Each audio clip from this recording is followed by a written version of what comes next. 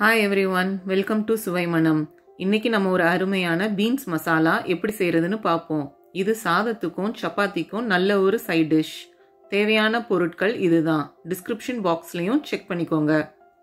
பீன்ஸை நல்லா தண்ணியில் கழுவி இதே மாதிரி நல்லா பொடி பொடியாக நறுக்கி எடுத்துக்கோங்க.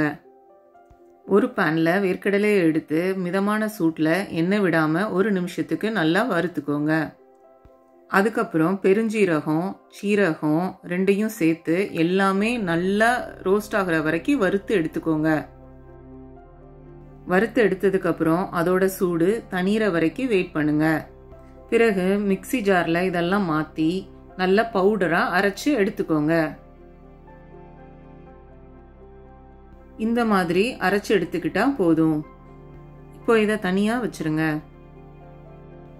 இன்னொரு பெரிய பேனில் ரெண்டு டேபிள் ஸ்பூன் எண்ணெய் சூடாக்கிக்கோங்க.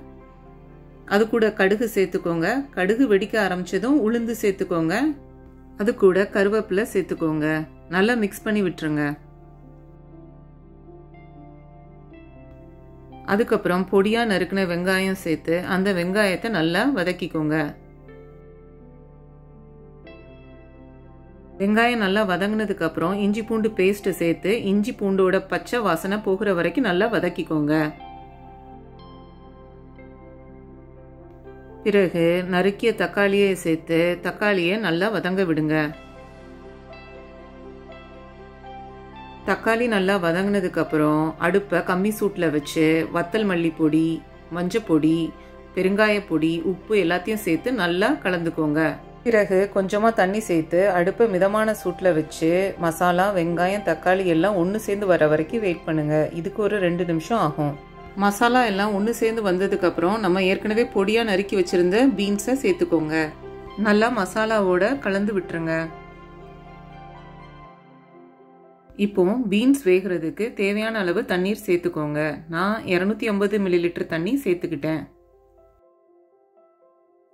பிறகு ஒரு தட்டை வச்சு மூடி அடுப்பை மிதமான சூட்டில் வச்சு பீன்ஸை நல்லா வேக விடுங்க. கொஞ்ச நேரம் கழித்து திறந்து பார்க்கும்போது பீன்ஸ் நல்லா வெந்திருக்கு.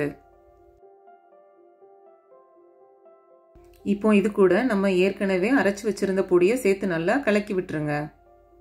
தண்ணீர் தேவைன்னா சிறிதளவு சேர்த்துக்கோங்க. எனக்கு சரியா இருந்தது அதனால நான் சேர்த்துக்கல. உப்பு சரியா இருக்கான்னு பார்த்து தேவைன்னா கொஞ்சம் சேர்த்துக்கோங்க. இப்போ அடுப்பை கம்மி சூட்டில் வச்சு ஒரு எட்டு நிமிஷத்துக்கு எல்லாத்தையும் நல்லா வேக விடுங்க. இப்போ நம்ம பீன்ஸ் மசாலா அருமையா தயாராயிருச்சு. கொத்தமல்லி இலைகளை தூவிக்கோங்க. அடுப்பை அணைச்சிருங்க. இந்த ரெசிபி உங்களுக்கு பிடிச்சிருந்ததுன்னா இந்த வீடியோவை லைக் பண்ணுங்க. என்னோட யூடியூப் சேனலுக்கு மறக்காம சப்ஸ்கிரைப் பண்ணிக்கோங்க. மீண்டும் சந்திப்போம். பாய்